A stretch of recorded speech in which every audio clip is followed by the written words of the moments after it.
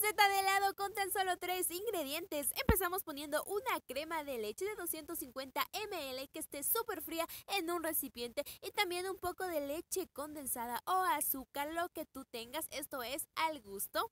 Batimos por unos segunditos solo hasta que esté espesa la crema porque si no se nos puede cortar. Necesitamos unas fresas súper maduritas y las vamos a cortar en pedacitos pequeños. Puedes usar la fruta que a ti más te guste. Yo voy a utilizar solo la mitad de la crema. Si tú deseas hacer más cantidad, ponle toda. Y agregamos las fresas picaditas. Vamos a mezclarlo súper bien.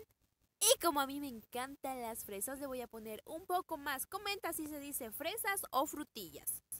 Vamos a necesitar moldes para helado o vasitos, lo que tú tengas. Yo siempre utilizo de estos que son plásticos y vamos a rellenar con esta mezcla que está súper deliciosa.